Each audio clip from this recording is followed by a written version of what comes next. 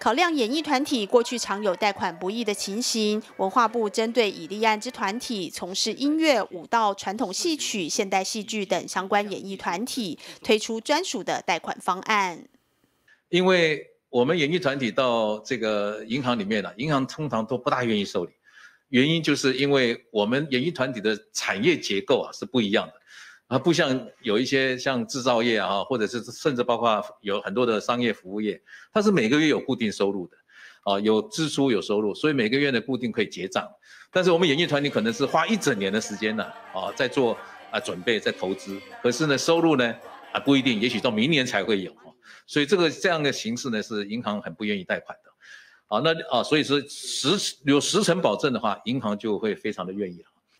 除了由政府提供十成的信用保证，以及最多一年利息的全额补贴之外，申办所需的银行服务费、保证期间的手续费等，也由文化部全额负担。那我们这边呢是决定利息补贴的一年，啊，利息补贴的用意也是说，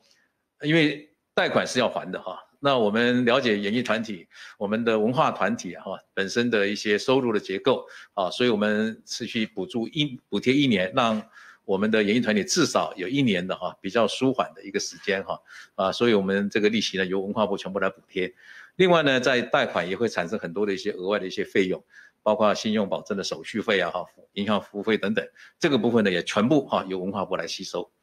申贷期间自七月一号起到一百一十一年一月三十一号前，申请者可自文化部或文策院官网下载申请表填写，并备妥相关文件，以电子邮件线上向文策院申请。记者林喜慧台北报道。